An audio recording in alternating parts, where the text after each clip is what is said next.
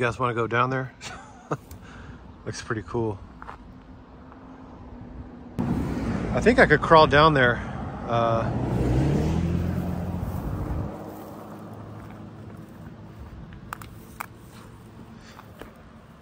let me use both hands. Let me put the camera down. All right, guys, that was a lot harder than it looked. I don't know. That was very difficult for me.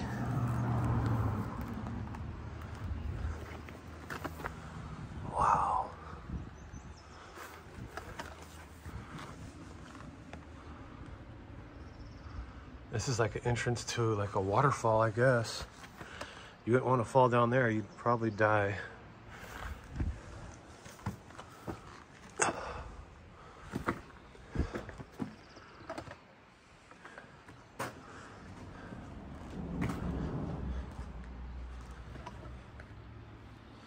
Look at that. You fall right there, you're gonna fall to your death.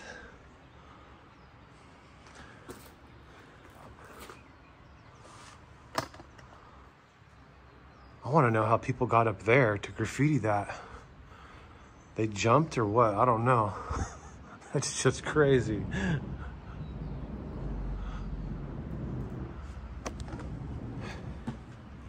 Look at my foot, guys. I mean, one one missed footstep and you're a goner. Let's get back to the road. That's a spillway right there. See the water comes down right there and shoots down from overflow of water. We'll go up there and take a look at that as well.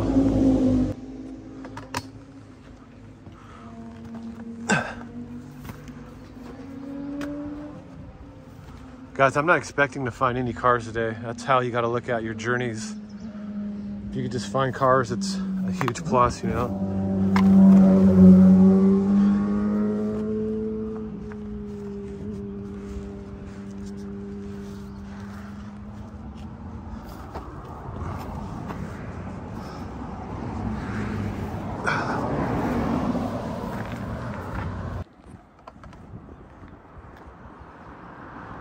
All right, does anybody know what this means right here?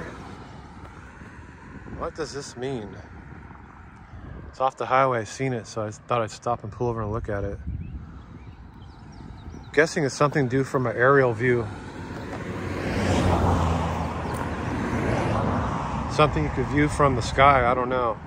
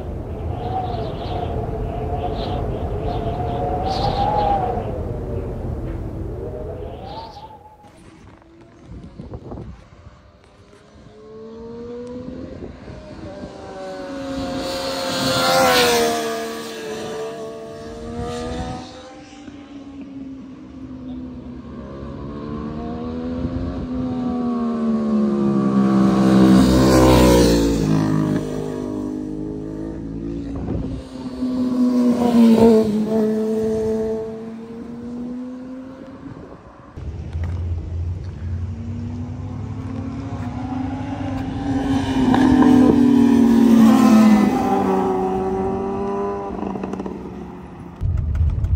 this is the entrance to the off-road park. You have to pay to get in.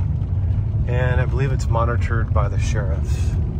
This is all the trailers and trucks that park out here while they're, here's a guy pulling his truck out right here. Chevy Blazer. Let's keep rolling. We're going towards Crystal Lake. It's supposedly about 14 miles away. All right, guys, I don't know if it's just a coincidence, but I seen a fresh cross on the side of the road. I was like, let me just pull over right here. I'm not sure if this has something to do with it. Look at this. But I know I could get down there and crawl down there. It's not that steep. It's steep, but uh, I could do this with a stick, no ropes.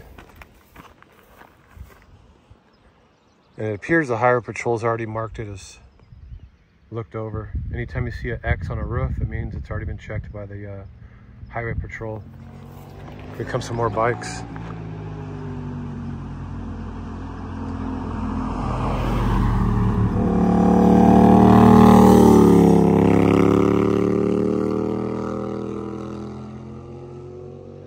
This looks like a real modern crash. Look at all the glass right there on those rocks. See the glass?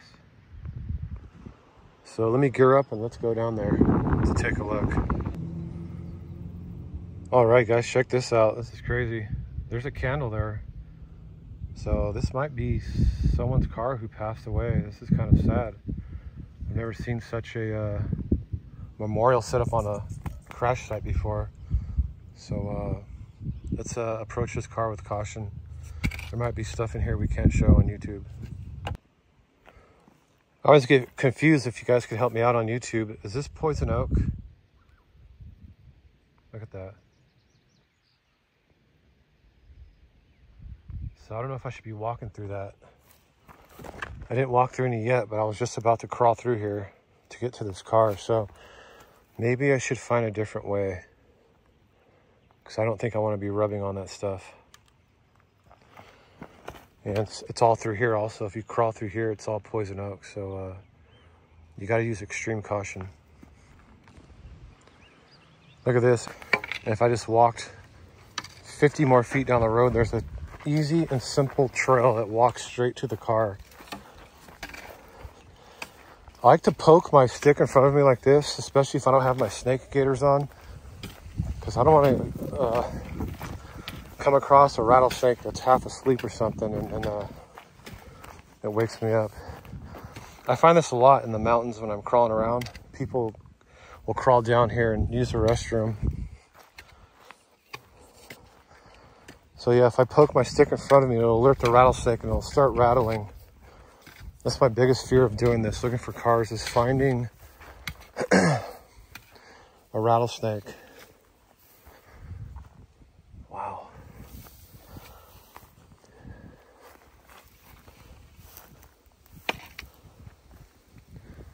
I don't know, guys. I think this car, I don't think somebody died in this car. Even though there's a memorial up there. I'll show you when I go back up top, but uh, there's a huge stain on the concrete like there was another accident up there. So it could be possibly that. This car just doesn't seem to have enough damage for someone to pass away in here. And, uh, you know, there's no blood. I don't see, there's no big damage to this car. So I'm guessing the accident happened up top, not down here. Could be wrong though. You just never know. A lot of times these people steal the engines. That's the first thing they take. Oh, they took the heads off, look. Wow. That's crazy. Little four-cylinder Honda Accord. Look at that, it's got an aluminum radiator in it. Yeah, I don't think someone died in here. You just never know. Man, look at that tunnel right there. That's crazy. It goes all the way through. It's probably a rattlesnake in there or something. I don't know. Somebody could have passed away here. I just don't know. I don't see any other cars around, but I'll tell you what I do see.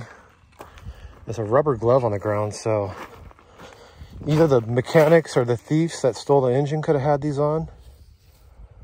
See that rubber glove? Or uh, the EMT and the paramedics.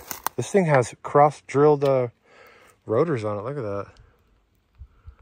This is a modern, very, very modern accident because, you know, once people find out about these cars, they're stripped. So I'm going to talk to you guys about another thing. What the heck? There's handcuffs in there. Look at that.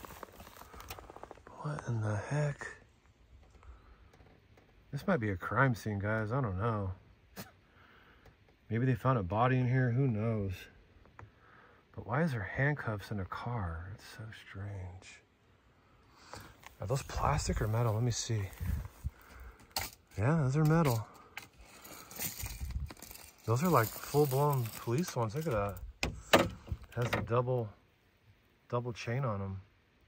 That is bizarre.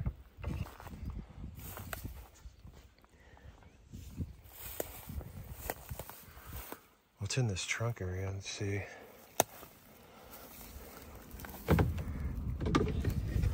Like I said, I don't want to touch anything, guys, so. Looks like oil. Looks like motor oil back there in that trunk. I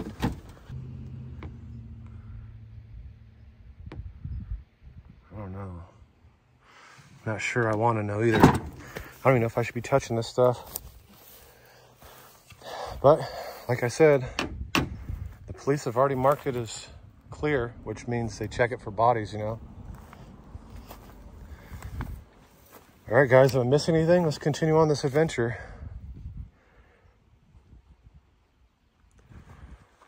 Let's continue on. We have a lot of ground to cover. Hey guys, and the only reason I pulled over is I seen a cross. So, uh, look at that little hideout up there. That's weird. That's crazy. These mountains out here have a lot of stories.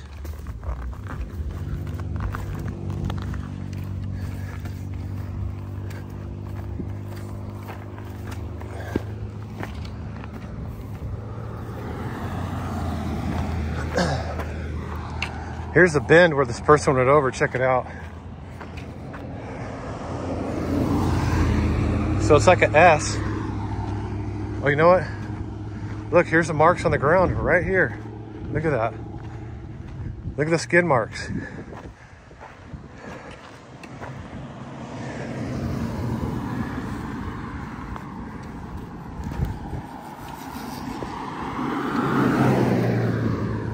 Look at the skid marks, look. There's a mark there and a mark there. And you can actually see where the car went over right here. So maybe this is where someone passed away. But let me show you what I was talking about earlier. I need to get a wind buffer for my phone so there's not so much wind blowing. I have one in the car, but the cord's like five feet long. It's kind of a pain, but uh, see this big mark on the concrete right there? There was an accident also there, so I was thinking that's why the cross was there.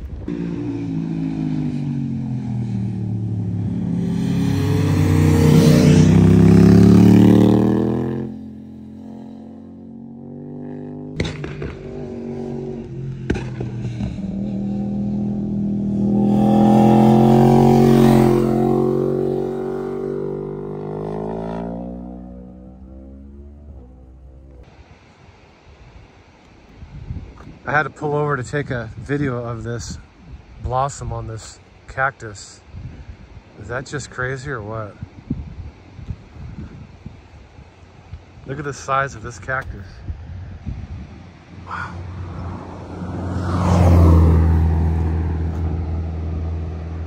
Unbelievable. That's the biggest one I've seen all day.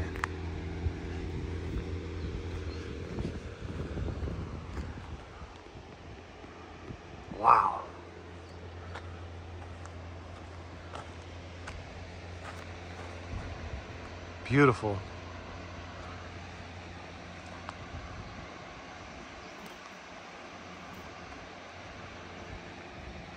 All right, y'all, let's keep rolling. Haven't found no more cars. That last car we found, I'm kind of up in the air about it. That means maybe someone passed away, maybe not. There's not a lot of damage, but hey, you know what? Maybe the person didn't have their seatbelt on. Maybe they were ejected from the vehicle. You just don't know. All right, guys, I don't think I could have picked a more beautiful day to be out here. It's just amazing. It's sunny. It's no humidity. It's just beautiful up here. I'm just off the side of the road watching all these cars and motorcycles drive by right now. So uh, just taking a small break. I'm looking up off, off all these cliffs though. Let me, let me show you where I'm parked. This is like a massive uh, hairpin turn down here. But I've looked and I don't see any cars whatsoever. It wraps all through here and does a spin right here. It shoots out right here, but uh, there's nothing down there. I've looked and looked and looked. There could have been at one time, they probably might have pulled it out. You just never know. They only pull out certain cars, which I'm not really sure uh, which cars they choose to pull out and which ones they leave, you know? You just never know. Let's continue on this journey. This is where we stand so far, if anybody's familiar with mile markers. I actually don't even know how to read those. I've never really learned. I don't know much about them. But if anybody out there knows about mile markers, let me know. 39 LA 3380. We are in LA County, so I'm guessing the LA is Los Angeles. The 39, the 33, and the 80, I have no idea. If anybody out there knows, let me know.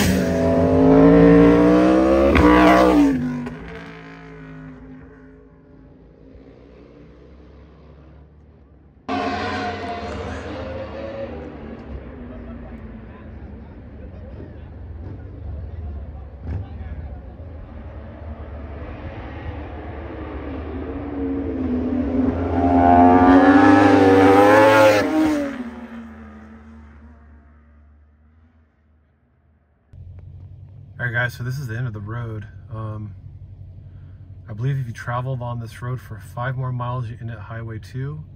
I could be wrong though, but from what I've read, I believe this mile goes for five miles roughly and then ends on the Highway 2 if I'm correct. Um, this is a huge turnout area, so I'll turn around and look off this cliff edge and see if we see anything. Stay with me.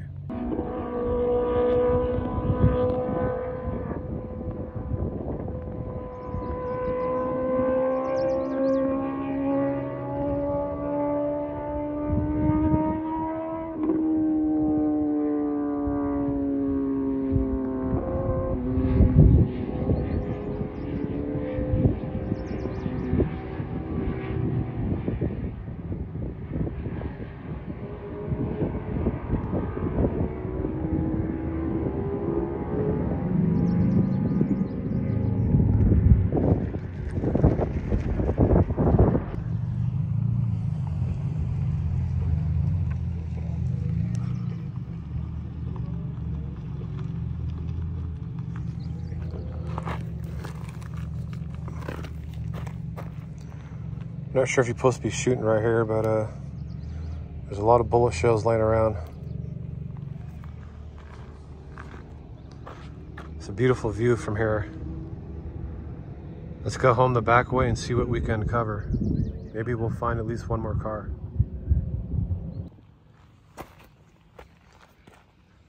I see car parts, but no cars. I see like a headlight bezel down there to something, but I just don't see any cars.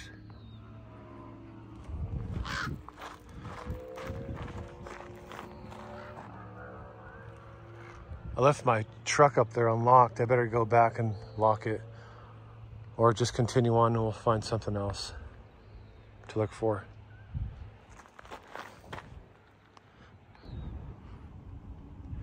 All right, guys, I changed my mind. I am going to put the drone in the air. The only reason is I'm going to look at that crash site over there and then uh, I'm going to send the drone over there to see how crazy these roads are. When I say hairpin turn, I mean uh, it's pretty intense.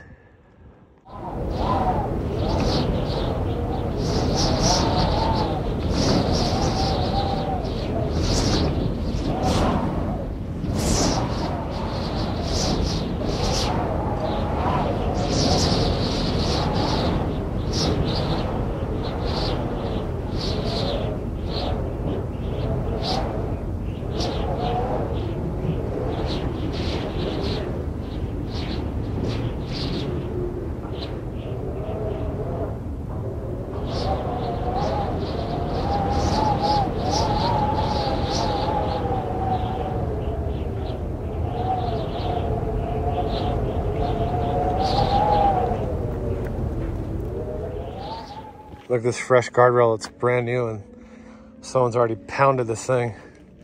Like there's oil all over the ground. This area is known for, look at the glass. This area is known for people to come up here and just fly. Um, a lot of race cars, motorcycles. It's a thing to do on the weekend, you know? So, uh,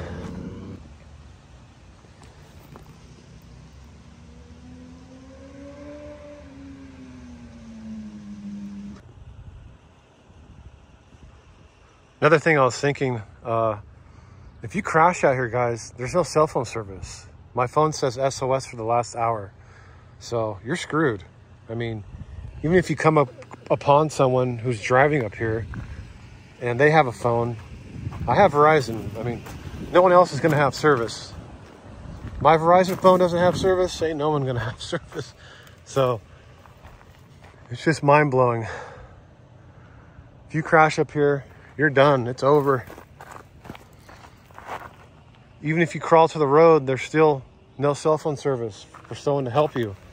So you'd have to drive to an area where there's service, which is probably a half an hour to 45 minutes away. Let's keep rolling.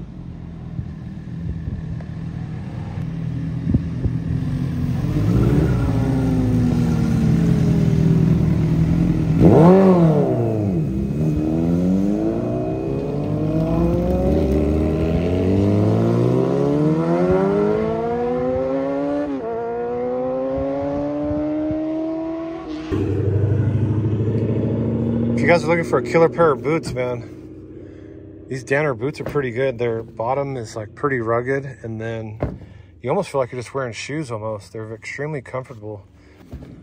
But uh, yeah, if you're looking for a good, uh, if you're looking for a good hiking boot, this is it right here. They're called Danner Timbers. They make them like this. They have some blue and brown ones. And they also make like full-blown uh, hiking boots. So if you're looking for a good, comfortable boot, it's right there. I think the range is right around $200.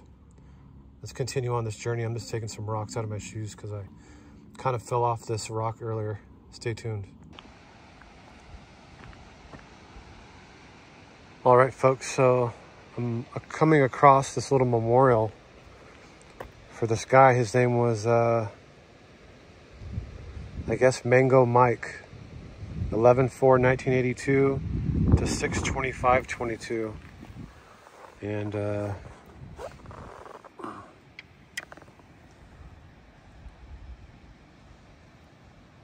this is this is his little memorial that they have set up for him.